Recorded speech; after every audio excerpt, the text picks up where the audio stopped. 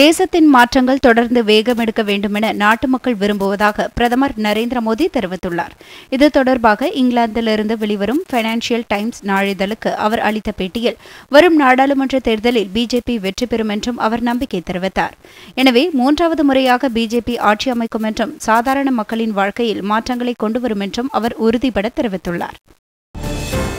ஜம்மு காஷ்மீர் மாநிலத்துக்கான முன்னூற்றி எழுபதாவது சட்டப்பிரிவை ரத்து செய்த உச்சநீதிமன்றத்தின் தீர்ப்பை இழிவுபடுத்தும் வகையில் மாநிலங்களவையில் திமுக உறுப்பினர் முகமது அப்துல்லா காங்கிரஸ் உறுப்பினர் வேணுகோபால் ஆகியோர் பேசியிருப்பது நாட்டின் ஒருமைப்பாட்டிற்கு மிகவும் ஆபத்தானது என்று மத்திய அமைச்சர் கிரண் ரிஜிஜு தெரிவித்துள்ளார் இது தொடர்பாக எக்ஸ் தளத்தில் நாடாளுமன்ற உறுப்பினர்கள் பேசிய வீடியோவை பதிவிட்டு கருத்து தெரிவித்துள்ள அவர் காங்கிரஸ் மற்றும் திமுக உறுப்பினர்களின் இந்த பேச்சு இந்தியாவை துண்டாடிவிடும் என தெரிவித்துள்ளார் ஐந்து மாநில தேர்தல் பிரச்சாரங்களின் போது கடந்த நவம்பர் இருபத்தி இரண்டாம் தேதி கூட்டம் ஒன்றில் பேசுகையில் பிரதமர் நரேந்திர மோடியை அவதூறான வார்த்தைகளால் பேசியதாக சர்ச்சை எழுந்தது ராகுல் காந்தியின் இந்த அவதூறு பேச்சு ஏற்கத்தக்கதல்ல என்று தில்லி உயர்நீதிமன்றம் கருத்து தெரிவித்துள்ளது ராகுல் காந்தியின் பேச்சு குறித்து எட்டு வாரங்களில் முடிவெடுக்க தேர்தல் ஆணையத்துக்கு தில்லி உயர்நீதிமன்றம் உத்தரவு பிறப்பித்துள்ளது சொத்து குவிப்பு வழக்கில் மாநில அமைச்சர் பொன்முடி மற்றும் அவரது மனைவிக்கு தலா மூன்று ஆண்டுகள் சிறை தண்டனை விதித்து சென்னை உயர்நீதிமன்றம் தீர்ப்பளித்துள்ளது தமிழக உயர்கல்வித்துறை அமைச்சர் பொன்முடி மற்றும் அவரது மனைவி விசாலாட்சிக்கு எதிரான சொத்து குவிப்பு வழக்கில் இருவரும் குற்றவாளிகள் என சென்னை உயர்நீதிமன்றம் அண்மையில் உத்தரவிட்டிருந்தது இதைத் தொடர்ந்து வழக்கின் தண்டனை விவரத்தை அறிவித்த நீதிபதி ஜெயச்சந்திரன் பொன்முடிக்கு மூன்று ஆண்டுகள் சிறை தண்டனையும் ஐம்பது லட்சம் ரூபாய் அபராதமும் விதிக்கப்பட்டுள்ளதாக கூறினார் பொன்முடியின் மனைவிக்கு மூன்று ஆண்டுகள் சிறை தண்டனை மற்றும் ஐம்பது லட்சம் ரூபாய் அபராதம் விதிக்கப்பட்டுள்ளது நாடாளுமன்ற அத்துமீறல் விவகாரத்தில் கைதான மனோரஞ்சன் சர்மா ஷாகர் சர்மா நீலம் ஆசாத் அமோல் ஷிண்டே ஆகிய நான்கு பேருக்கு விதிக்கப்பட்ட ஏழு நாள் போலீஸ் காவல் இன்றுடன் முடிவடைந்தது அதைத் தொடர்ந்து அந்த நான்கு பேரும் காவல்துறை பாதுகாப்புடன் இன்று தில்லி பாட்டியாலா நீதிமன்றத்தில் ஆஜர்படுத்தப்பட்டனர் இந்த வழக்கை விசாரித்த நீதிபதி அந்த நான்கு பேரின் நீதிமன்ற காவலை மேலும் பதினைந்து நாட்களுக்கு நீட்டித்து உத்தரவிட்டுள்ளார் வருகிற ஜனவரி ஐந்தாம் தேதி நான்கு பேரையும் மீண்டும் ஆஜர்படுத்த உத்தரவிடப்பட்டுள்ளது அகில இந்திய காங்கிரஸ் கட்சியின் செயல் வீரர்கள் கூட்டம் தில்லியில் உள்ள கட்சி தலைமையகத்தில் இன்று நடைபெற்றது கட்சியின் மூத்த தலைவர் சோனியா காந்தி தலைமையில் நடைபெற்ற இந்த கூட்டத்தில் நாடாளுமன்றத்தில் இருந்து காங்கிரஸ் மற்றும் எதிர்க்கட்சி எம்பிக்கள் இடைநீக்கம் செய்யப்பட்ட விவகாரம் குறித்தும் நாடாளுமன்ற பாதுகாப்பு விவகாரங்கள் குறித்தும் விவாதிக்கப்பட்டது கட்சியின் தலைவர் மல்லிகார்ஜுன கார்கே பொதுச் செயலாளர் பிரியங்கா காந்தி வதேரா நாடாளுமன்ற உறுப்பினர்கள் ராகுல் காந்தி கே சி வேணுகோபால் ஆதிர் ரஞ்சன் சௌத்ரி மற்றும் கட்சி நிர்வாகிகள் இக்கூட்டத்தில் கலந்து கொண்டனர் குஜராத் மாநிலத்தின் வளர்ச்சிக்கு பிரதமர் நரேந்திர மோடி அளித்த வாக்குறுதிகள் அனைத்தும் நிறைவேற்றப்பட்டுள்ளதாகவும் கடந்த இருமுறையும் பாஜகவின் இரட்டை என்ஜின் ஆட்சி முறையால் எண்ணற்ற பலன்களை குஜராத் பெற்றுள்ளதாகவும் அம்மாநில முதலமைச்சர் பூபேந்தர் பட்டேல் தெரிவித்தார் குஜராத்தின் மொடோசாவில் நடைபெற்ற நிகழ்வொன்றில் பங்கேற்று பேசிய அவர் ஒரே நாளில் அரவள்ளி மாவட்டம் இருநூற்று அறுபத்தி நான்கு கோடி ரூபாய் மதிப்பிலான வளர்ச்சித் திட்டங்களை பெற்றுள்ளதாக தெரிவித்தார் தில்லி மதுபான கொள்கை முறைகேடு வழக்கில் விசாரணைக்கு கடந்த நவம்பர் இரண்டாம் தேதி ஆஜராகுமாறு அமலாக்கத்துறை அனுப்பிய சம்மனை இது சட்டவிரோதமான விசாரணை என கூறி முதலமைச்சர் அரவிந்த் கெஜ்ரிவால் நிராகரித்தார் அதைத் தொடர்ந்து விசாரணைக்காக இன்று ஆஜராக அனுப்பப்பட்ட சம்மனும் நிராகரிக்கப்பட்டுள்ளது முதலமைச்சர் அரவிந்த் கெஜ்ரிவால் ஏற்கனவே திட்டமிட்டபடி பத்து தியான பயிற்சிக்கு சென்றுவிட்டதாக தெரிவித்த முதலமைச்சர் அலுவலகம் அவர் எங்கு சென்றார் என்ற விவரத்தை வெளியிடவில்லை இந்த சம்மனுக்கு சட்ட ரீதியாக பதில் அனுப்பி வைக்கப்படும் என ஆம் ஆத்மி கட்சி தெரிவித்துள்ளது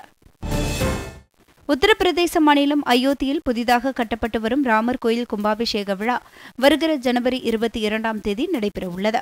அன்றைய தினமே ராமர் சிலை பிரதிஷ்டை செய்யப்படும் எனவும் அறிவிக்கப்பட்டுள்ளது அதையொட்டி அயோத்தி விமான நிலையம் விரிவாக்கம் செய்யப்பட்டுள்ள நிலையில் வருகிற முப்பதாம் தேதி முதல் தில்லியிலிருந்து அயோத்திக்கு இண்டிகோ விமான சேவை தொடங்கப்படுகிறது அதே தேதியில் ஏர் இந்தியா விமான சேவையும் தொடங்கப்படும் என விமான நிர்வாகம் அறிவித்துள்ளது இந்திய மல்யுத்த கூட்டமைப்பின் புதிய தலைவராக சஞ்சய் சிங் தேர்வு செய்யப்பட்டுள்ளார் இவர் மல்யுத்த கூட்டமைப்பின் முந்தைய தலைவர் பிரிஜ் பூஷனின் உதவியாளர் ஆவார் புதிய தலைவர் சஞ்சய் சிங்கிற்கு மல்யுத்த அமைப்புகளின் சார்பில் சிறப்பான வரவேற்பு அளிக்கப்பட்டது அப்போது செய்தியாளர்களிடம் பேசிய அவர் மல்யுத்த வீரர்களின் திறனை ஊக்குவிக்க தேசிய அளவிலான முகாம்கள் தொடர்ந்து நடத்தப்படும் என்றும் அரசியல் செய்பவர்கள் தொடர்ந்து அரசியல் செய்யலாம் மல்யுத்தம் செய்பவர்கள் தொடர்ந்து மல்யுத்தம் செய்யலாம் என்றும் தெரிவித்தார் தென் மாவட்டங்களில் முதலமைச்சர் மு ஸ்டாலின் இன்று வெள்ளத்தால் பாதிக்கப்பட்ட பகுதிகளில் ஆய்வு மேற்கொண்டுள்ளார் மதுரையிலிருந்து முதலமைச்சர் மு ஸ்டாலின் சாலை வழியே தூத்துக்குடி சென்றார் தூத்துக்குடியில் மழை வெள்ளத்தால் பாதிக்கப்பட்டவர்களிடமிருந்து மனுக்களை பெற்றுக்கொண்டார் இதனைத் தொடர்ந்து தூத்துக்குடி மாவட்டத்தில் மழை வெள்ளத்தால் பாதிக்கப்பட்ட மக்களுக்கு முதலமைச்சர் நிவாரண உதவிகளை வழங்கினார் தொடர்ந்து தூத்துக்குடி மாவட்டத்தில் வெள்ளத்தால் பாதிக்கப்பட்ட கால்வாய்கள் சாலைகள் குடியிருப்புகளை அவர் ஆய்வு செய்தார் சென்னை எண்ணூர் முகத்வாரத்தில் எண்ணெய் கசிவால் வாழ்வாதாரம் பாதிக்கப்பட்ட இரண்டாயிரத்து முன்னூற்று ஒரு குடும்பங்களுக்கு தலா பனிரெண்டாயிரத்து ஐநூறு ரூபாயும் சேதமடைந்த எழுநூற்று எண்பத்தி ஏழு படகுகளுக்கு தலா பத்தாயிரம் ரூபாயும் நிவாரணமாக வழங்கப்படும் என தமிழக மீன்வளத்துறை தெரிவித்துள்ளது எண்ணெய் கசிவு விவகாரத்தில் பசுமை தீர்ப்பாயம் தாமாக முன்வந்து விசாரித்த வழக்கில் இந்த தகவலை மீன்வளத்துறை அளித்துள்ளது புதுச்சேரியில் இரண்டாயிரத்து பதினோராம் ஆண்டு என்ஆர் காங்கிரஸ் ஆட்சியின் போது போக்குவரத்து அமைச்சராக இருந்த கல்யாண சுந்தரம் பத்தாம் வகுப்பு தேர்வெழுதிய போது ஆள்மாறாட்டம் செய்ததாக தொடரப்பட்ட வழக்கில் அவருக்கு சிறை தண்டனை வழங்கப்பட்டது பின்னர் விழுப்புரம் மாவட்ட நீதிமன்றத்தில் அவர் மேல்முறையீடு செய்ததில் விடுதலை ஆனார் அவரது விடுதலையை எதிர்த்து போலீசார் தாக்கல் செய்த மேல்முறையீட்டில் சென்னை உயர்நீதிமன்றம் இன்று தீர்ப்பு வழங்கியது தற்போது புதுச்சேரி பாஜக சட்டமன்ற உறுப்பினராக உள்ள கல்யாண சுந்தரத்தை விடுதலை செய்தது செல்லும் என நீதிபதி ஜெயச்சந்திரன் தீர்ப்பளித்தார் தூத்துக்குடியில் ஏற்பட்ட மழை வெள்ள பாதிப்பால் தூத்துக்குடி அனல் மின் நிலையத்தில் ஸ்விட்ச் யார்ட் பகுதி முழுவதும் மழை நீரில் மூழ்கியது கடந்த ஐந்து நாட்களாக அனல் மின் நிலையத்தின் ஐந்து அலகுகளிலும் மின் உற்பத்தி நிறுத்தி வைக்கப்பட்டுள்ளது இதனால் ஆயிரத்து ஐம்பது மெகாவாட் மின் உற்பத்தி பாதிக்கப்பட்டுள்ளதாக அனல் மின் நிலைய தரப்பில் தெரிவிக்கப்பட்டுள்ளது கன்னியாகுமரி மாவட்டத்தில் பெய்த தொடர் கனமழையால் பேச்சுப்பாறை பெருஞ்சாணி சிற்றாறு உள்ளிட்ட அணைகளில் நீர்வரத்து அதிகரித்து அபாய அளவை தாண்டியது கோதையாற்றிலும் வெள்ளப்பெருக்கு ஏற்பட்ட நிலையில் திருப்பரப்பு அருவியில் தண்ணீர் ஆர்ப்பரித்து கொட்டியது இதனால் சுற்றுலா பயணிகள் குளிக்க தடை விதிக்கப்பட்டது தற்போது மழை முற்றிலும் குறைந்து நீர்வரத்து சீரானதை தொடர்ந்து நான்கு நாட்களுக்கு பிறகு சுற்றுலா பயணிகள் குளிக்க அனுமதி அளிக்கப்பட்டுள்ளது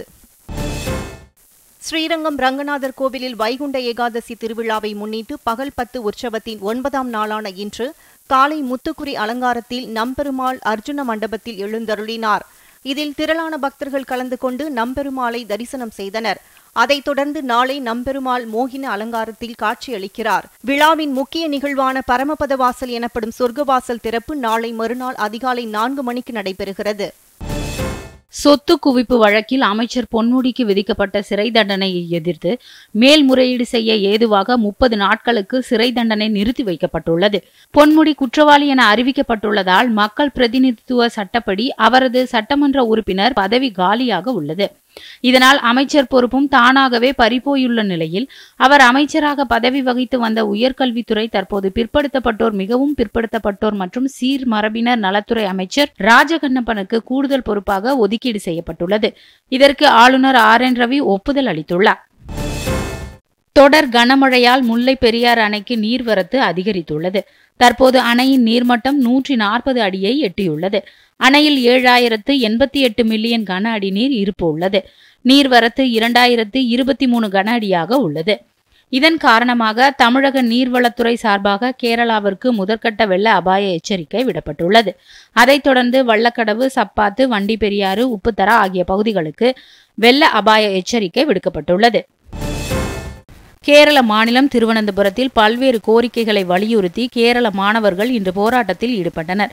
அப்போது காவல்துறையினருடன் மாணவர்கள் கடும் வாக்குவாதத்தில் ஈடுபட்டனர் அதைத் தொடர்ந்து தள்ளுமுள்ளு ஏற்பட்டதால் கூட்டத்தை கலைக்க காவல்துறையினர் தடியடி நடத்தனர் இதில் சில மாணவர்கள் காயமடைந்தனர் மேலும் மாணவர்கள் சிலரை காவல்துறையினர் கைது செய்தனர்